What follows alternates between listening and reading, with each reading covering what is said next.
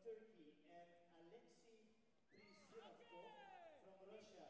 Please go to